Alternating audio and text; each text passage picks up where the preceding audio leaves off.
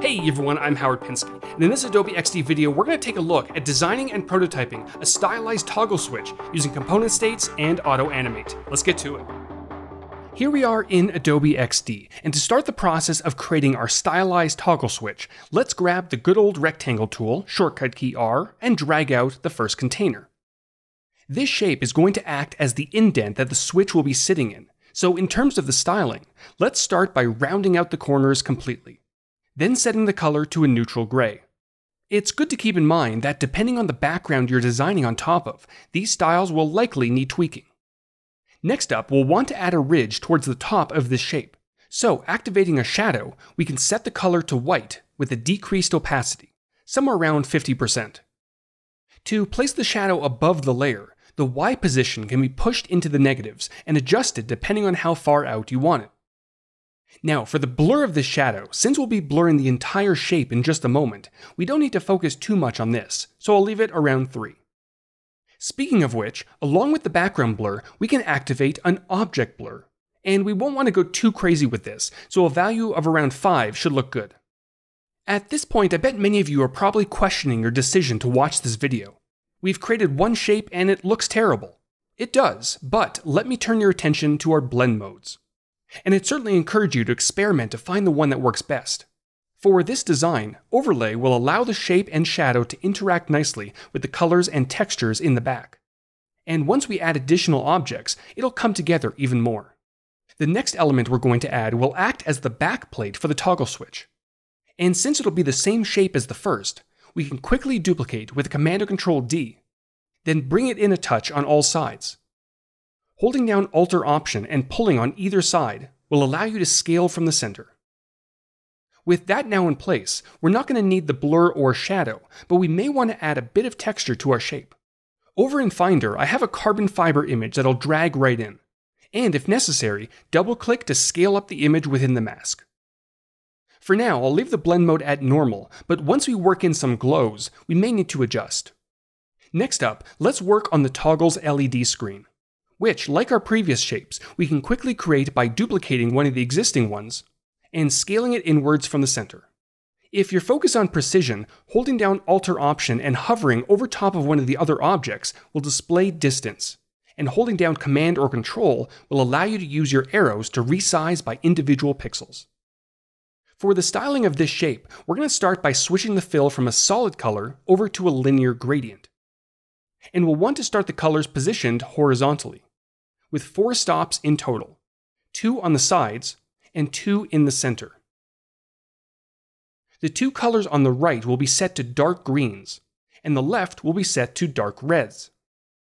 The sharp transition in the center of this gradient looks quite drastic, but this area will be covered up by the switch, so try to ignore it for the time being. Next, a subtle border can be added as an outline around the screen. Dark gray with an opacity around 50% should do the trick. Then finally, a shadow, but not your typical shadow.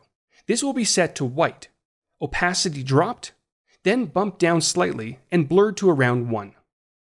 Some of these styles may be difficult to see at the moment, but will definitely come through when we add in the next few elements.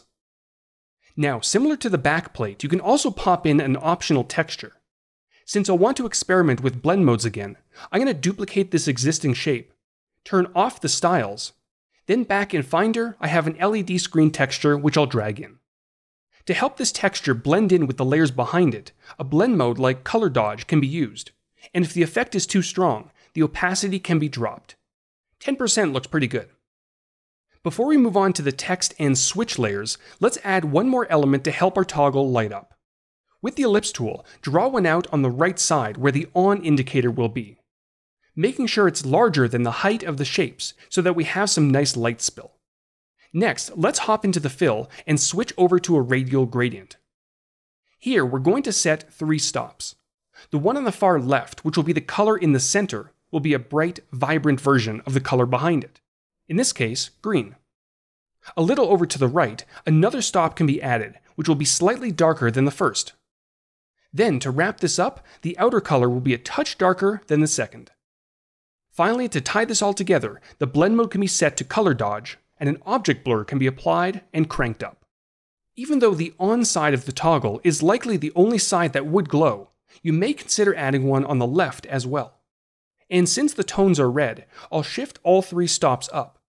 Then, since I'm mostly concerned about a slight glow in the center, I'll tweak the color so that the two on the left are bright, and the one to the right is darker with a decreased opacity. The opacity of the overall layer can then be dropped for the initial state, which we'll be creating shortly.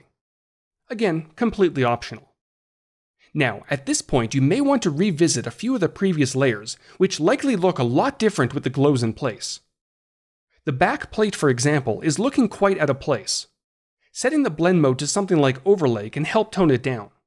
And if your background contains too much texture, placing a dark shape behind this layer will avoid unnecessary blending. And if you want to make sure that the left doesn't end up too dark, a gradient can be used with a lighter color applied to that end. Alright, we're almost there. Next on the list are the on-off labels. So with the text tool, shortcut key T, the first label can be typed out and the size can be quickly adjusted using the handle below the layer. Styling wise, a slew of typefaces will work for this, like Proxima Nova, and a thick weight will help it stand out nicely. The color of these text layers are completely up to your design direction, but for this example, I'll use a dark green, then set the blend mode to overlay to interact with the layers behind it. We can then duplicate the on label over to the left, change the text to off, and tweak the color if necessary. Perfect. It's finally time to tackle the switch. And to keep consistency with the rest of our design, we can use another rounded rectangle for this shape, either by drawing out a new one or duplicating one of the existing layers. The styling for the shape will be kept fairly basic. A subtle linear gradient can be applied to the fill to add a touch of depth. A border with a decreased opacity can add a nice bevel around the switch. Then a shadow can be activated to pop it from the layers in the back. Since this design is on the darker side, the shadow may need a higher than usual opacity to stand out. Finally, we'll want to create a small handle over top of this shape, and just like almost every other layer we've added, a rectangle can be used with rounded corners. The fill on this element will also be set to a linear gradient, but we're going to add in additional stop very close to the top, which will help add a slight highlight to this handle. We can also throw in a shadow using the options within the Properties Inspector or if you're looking for more control, a separate layer can be created where the shape, gradient, and blur can be tweaked. And of course, just like with some of the previous elements, you can absolutely add in textures to heighten the effect you're going for. With the switch now complete, you may want to move it behind the green glow that we created not too long ago. This will allow some of that light to spill over. Alright, now that we've completed the design, it's time to bring it to life. Selecting all the layers that make up our toggle, a component can be created either within the Properties Inspector, your document assets, or quickly with the Command or Control K shortcut. Since we're happy with the on state, let's create the off, and we can use the toggle trigger to help us out, which will not only automatically wire up the initial interaction, but the reverse as well. For this new state, we'll shift the switch over to the right to cover up the on label, then make sure to decrease the opacity of the green glow and slightly bump up the red. And since toggle triggers are wired up by default, launching the preview window at the top right corner will now allow us to interact with our designs by clicking to transition.